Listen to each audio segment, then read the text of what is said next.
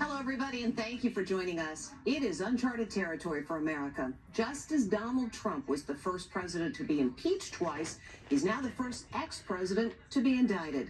The former president and his legal team were said to be caught off guard by the announcement, but shortly after the news broke, Mr. Trump and his wife Melania were spotted at his private club having dinner with supporters. Stephen Fabian begins our coverage. Donald Trump entertained guests at Mar-a-Lago last night, just hours after the stunning news of his indictment. Melania was at his side as he mingled with friends. Beautiful evening here at the gorgeous Mar-a-Lago, tweeted one guest who said Trump was enveloped in the love of their friends and most loyal. But New York Times reporter Maggie Haberman says Team Trump was blindsided. There's no question that people around Trump were completely caught off guard by this. They did believe, uh, you know, the, the reports that the grand jury was done for a month. President Biden was asked if the indictment could further divide America. No, I, I'm not going to talk about Trump's indictment. Barricades are up outside Manhattan Criminal Court as the Secret Service and NYPD choreographed Trump's surrender. Anti-Trump demonstrators displayed this huge banner.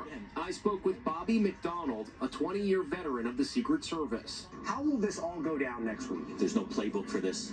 Uh, there's no uh, time when we've done this before when we could look back and see what went well and what didn't go well. So this is going to be played by ear. You know, this is the first time in history that a protectee of the Secret Service has been indicted and going to be processed in a courthouse. Law enforcement reportedly staged a dress rehearsal here at the criminal courthouse for the former president's arraignment. He's expected to fly to New York on Monday and surrender on Tuesday afternoon at 2:15. Now, there is an underground entrance here at the court that the Secret Service may utilize to avoid the crowds that are expected. He'll be fingerprinted. There's no ink anymore on the fingerprints. It's just on a piece of glass.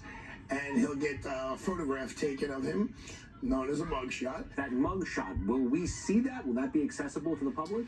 Well, there's been a lot of things so far that we're not supposed to see and know about that we have. So if I'm going to bet $20, I'm going to bet that that mugshot will leak in short order. Firebrand pro Trump Congresswoman Marjorie Taylor Greene tweeted, I'm going to New York on Tuesday. We must protest the unconstitutional witch hunt. We are coming on the air with historic news. This was how the stunning news of the indictment broke, with cable and broadcast networks breaking into programming. It is so overwhelming, so unsettling, and unprecedented. Historic headlines befitting the first former president in U.S. history to be indicted are splashed across the front pages of every major newspaper. Published reports say Trump faces 34 charges of business fraud related to hush money payments to former porn star Stormy Daniels. Trump attorney Jim Trusty says he believes the defense team will try to have the case dismissed before trial. I hope that in days or weeks at the most that we start seeing some very robust motions and uh, and put the prosecutor on their heels where they should be on this case. Meanwhile, the late night comics are having a field day.